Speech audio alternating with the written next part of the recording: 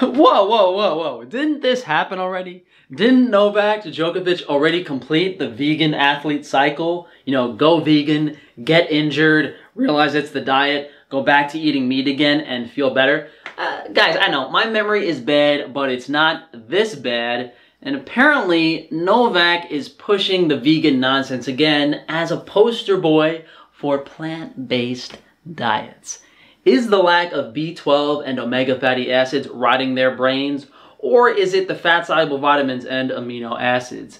This doesn't make any sense because Novak went vegan back in 2016, saw a drop in his performance, even became injured coincidentally after he went vegan, but he started eating meat again, rose back to the top, reclaimed his Wimbledon title, and now that he's at the top again, He's pushing the vegan diet. Is he going to do it till he busts open his other elbow?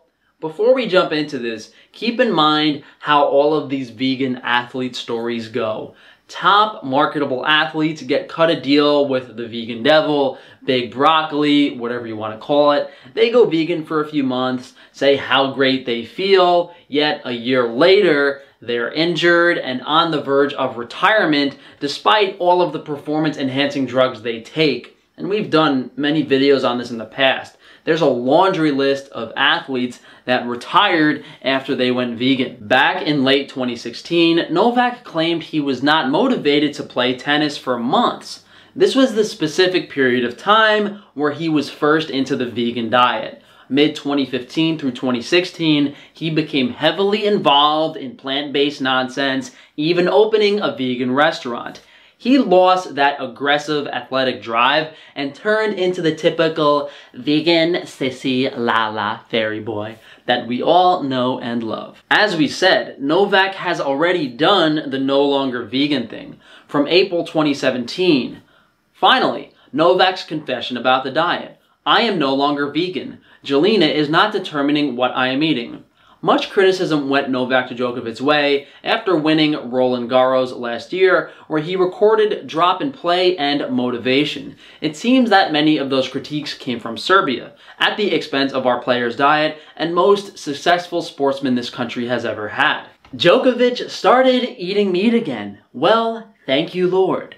This is the news that everyone awaited ever since Novak's game has taken a turn for the worse. According to former Serbia's Davis Cup coach Bogdan Obradovic, Novak has started eating meat again. Last year, he didn't play for weeks. That's no good. He reduced his training, then he started with a strange way of nutrition. He meditated more than he hit the ball. It's the textbook vegan athlete story. Go vegan, have your performance drop, be in denial that the vegan diet is causing the issue, but suddenly, as soon as he starts eating meat again, bang, wins Wimbledon.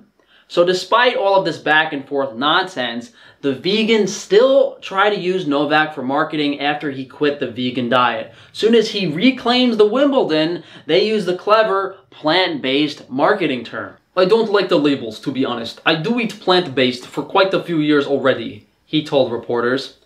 But because of the misinterpretations of labels and the misuse of labels, I just don't like that kind of name. I do eat plant-based, I think that's one of the reasons why I recover well. I don't have allergies that I used to have anymore, and I like it. we know what plant-based is. It's a marketing term to pretend you're vegan when you're not. It's what celebrities, actors, athletes use to market the vegan diet while still eating steak and fish. Let's move on to what triggered this video today. His recent interview on plant-based news with your favorite boy, Klaus. And so we started slowly uh, taking off layer by layer and really going uh, going deep into um, into things that are related to my health and trying to understand what is the core of it. So, of course, diet was one of the most integral uh, part of the problem, and and changing the diet was a something that allowed me to um, get rid of the allergies and everything, particularly gluten and dairy that I removed from my diet, um, and refined sugar. I mean, he's pretending like he hasn't been on and off vegan for five years, or well, 10 years. He's pretending like it's something absolutely new. So it was a, it was a change, but I was very determined because I, I could feel instantly right after the first session, second session with him, I could I could sense that there is an improvement. Is that why you were meditating out in the field instead of playing tennis? Family was initially concerned when you were losing Yeah, weight, right? Yes, yes, they um, they were initially concerned, um, and I was actually start, start, you know starting to um, get rid of the red meat as well because I felt like I had also um, I had to put a lot of energy and effort uh, into digestive process to, to digest the, the meat. So and, and that would take a lot of essential energy that I need for, you know, for my focus, for the recovery, for the next training session or for the next match. That, that was the, the, the, the initial point of the journey that got me to the point where I am at the moment where I'm eating plant-based. Apparently, putting effort into digesting red meat isn't much of an issue if you had to start eating meat again to regain your Wimbledon title. It's a really interesting journey that started when, when you mentioned in 2010. Uh, yeah, um, why don't you tell us more about your journey, Novak? Get real specific with your injuries, going off vegan. Now you're suddenly pretending you're vegan again. Oh, wait, plant based, plant based, plant based. Oh, oh, forget. Oh, What do you eat in an average day today? Uh, well, I, I start off always um, when I when I rise from the bed. I, I start with uh, warm water and lemon, so I can help my body detoxify. Um, and then I, I would have uh, celery juice on an empty stomach, and then I would make a break, and then I would have my my smoothie, um, green smoothie with different algae um, and, and, and different fruits and uh, superfoods, um, great supplements that I use that uh, allow me to have mental clarity. This is funny. It's like when he's answering the questions, he's thinking of what they told him to say.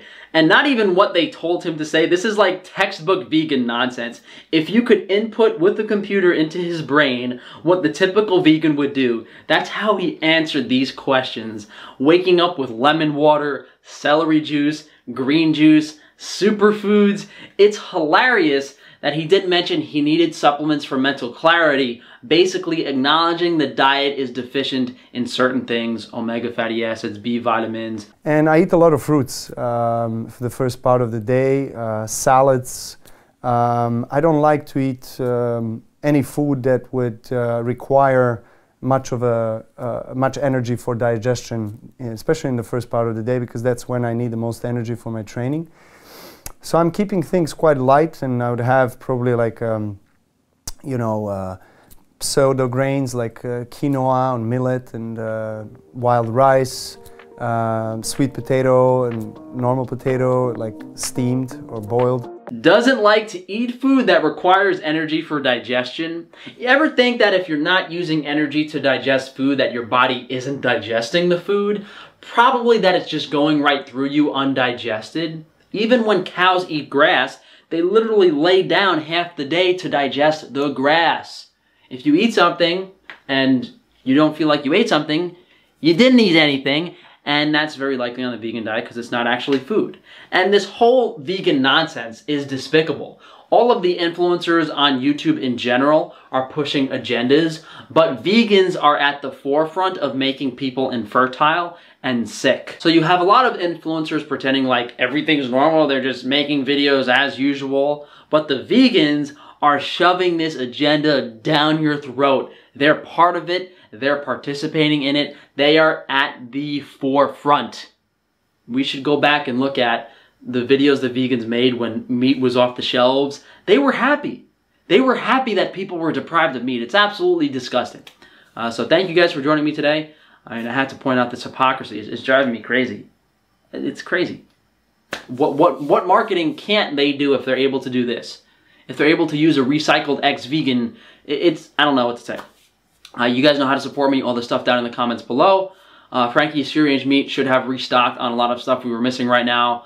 Uh, so definitely place an order if you guys want everything to be shipped out by next week. You can also go to Organ Supplements. Uh, we're almost out of a couple things on organ supplements, so definitely grab it while you can. Uh, Frankie's Naturals for minimal ingredient, minimally processed hygiene and cosmetic products.